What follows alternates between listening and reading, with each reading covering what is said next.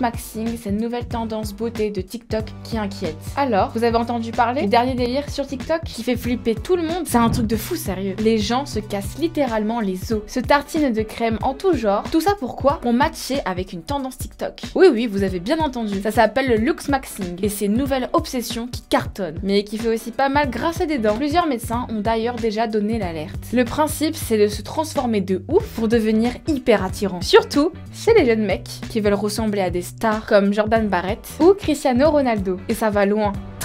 On commence doucement avec le soft maxime, genre se blanchir les dents, virer les poils du visage, ou encore cette technique bizarre qui s'appelle le mewing, pour se tailler une mâchoire de rêve, qui joue sur le positionnement de la langue pour obtenir une mâchoire bien dessinée. Mais le vrai délire, c'est le hard maxing. Là, on parle chirurgie, se bricoler une mâchoire en acier, en se la fracturant soi-même, afin d'obtenir un rendu plus viril qu'avec le mewing, se pincer les paupières pour avoir un regard de chasseur, sans parler de se blanchir la peau ou de suivre un régime de dingue avec des hormones et des pommes pour agrandir certaines parties du corps, vous voyez ce que je veux dire. Et le pire dans tout ça, c'est que ça prend de l'ampleur, surtout chez les jeunes. Cette tendance vient des incels, ces mecs qui se retrouvent célibataires malgré eux et qui ont une dent contre les femmes pour rester polis. Pour l'instant, ça explose surtout aux États-Unis et en Grande-Bretagne. On croise les doigts pour que ça ne débarque pas chez nous, en France. Parce que franchement, se démolir la santé pour une mode TikTok, faut vraiment être à côté de la plaque, non